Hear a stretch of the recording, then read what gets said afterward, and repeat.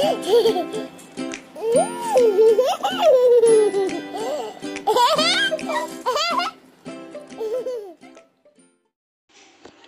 நம்ம capital letter C and small letter C எப்படி எழுதுறது அப்படிங்கிறத பார்க்கலாம். ஃபர்ஸ்ட் கேபிட்டல் லெட்டர் சி நம்ம ஆல்ரெடி லாஸ்ட் வீடியோஸில் சொல்லியிருந்தோம். த்ரீ லைன் பேஸ் பண்ணி தான் நம்ம சொல்லி கொடுக்குறோம் அப்படின்னு. ஸோ ஃபர்ஸ்ட் லைனில் இருந்து கீழே இருக்க எண்ட் லைனை டச் பண்ணுற மாதிரி லெஃப்ட் சைடில் ஒரு கர்வ் போடணும்.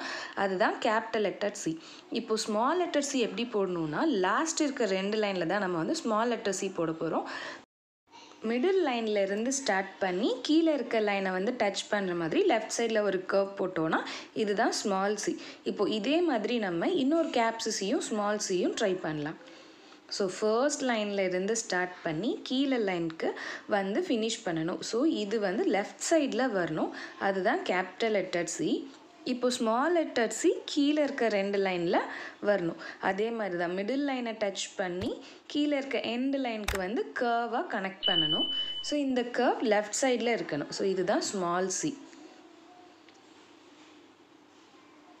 இதே மாதிரி தான் capital letter C small letter C எழுதணும். இந்த வீடியோ உங்களுக்கு பிடிச்சிருந்ததுன்னா லைக் பண்ணுங்கள் ஷேர் பண்ணுங்கள் மறக்காமல் சப்ஸ்கிரைப் பண்ணுங்கள்